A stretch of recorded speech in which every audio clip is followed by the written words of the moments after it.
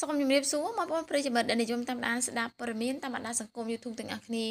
ថ្ងៃនេះអត្ថបទព័ត៌មានពី Channel Papa New បាននាំអារម្មណ៍ប្រិយមិត្តមកជួបជាមួយនឹងព័ត៌មានថ្មីថ្មីប្រចាំថ្ងៃលើកដំបូងហើយដែលឃើញអ្នកនាងដេតម៉ាឡេណាស្លៀកឈុតបែបនេះពិតជាស្រស់ស្អាតប្លែកខ្លាំងណាស់ដល់ថ្នាក់គ្រប់គ្នាឡើងភ្ញាក់ដើម្បីឲ្យដឹងកាន់តែច្បាស់អំពីអត្ថបទនេះសូមប្រិយមិត្តជួយចុច Subscribe និង Like សូមរំលឹកឡើងវិញបន្តិចផងដែរថាកាលពីពេលថ្មីថ្មីកន្លងទៅនេះ មហាជនទូទៅបន្តិចអ្នកទេផ្ទុះការចាប់អារម្មណ៍និងភ្ញាក់ផ្អើលយ៉ាងខ្លាំងស្ទើរមិនគួរឲ្យជឿនិងនឹកស្មានមិនដល់ក្រោយដឹងថាលោកដួងឆាយនិងនាងដេតម៉ាឡេណាបានសម្រេចចិត្តលែងលះគ្នាជាផ្លូវការហើយនោះព្រោះតែការរស់នៅរបស់អ្នកទាំងពីរមិនចុះសម្រុងនឹងគ្នា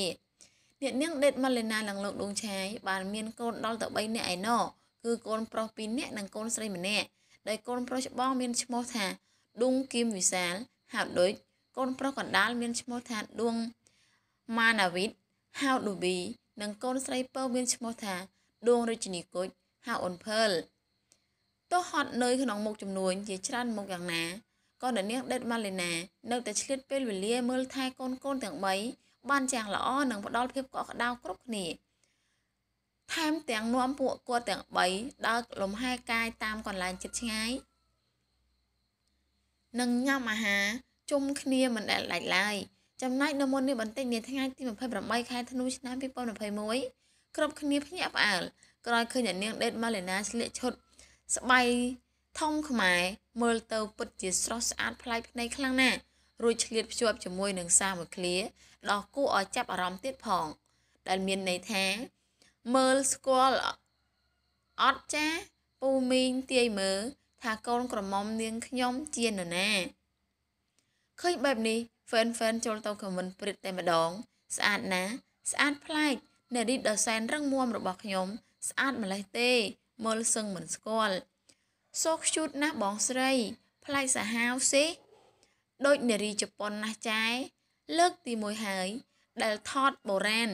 សុំបងថតឲ្យច្រើនផងស្អាតប្លែកចែអើយស្អាតម្លេះ18សុំចាញ់ពិតជាស្អាតខ្លាំងណាស់ចែ18ឆ្នាំ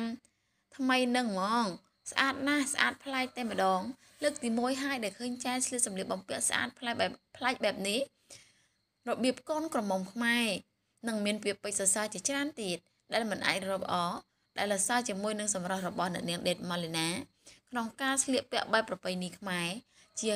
ចាឈុតស្បៃធំខ្មែរគឺពិតជាមើលទៅស័កសមខ្លាំងណាស់ជាពិសេសគឺតម្រង់មុខស្អាតខ្លាំងបំផុត ដូចពាក្យ fan comment អញ្ចឹងគឺស្អាតដូច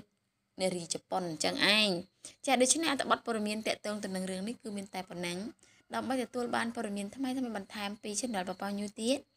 សូមប្រិយមិត្តចុច Subscribe និង Like សូមអរគុណនិងសូមគោរពលា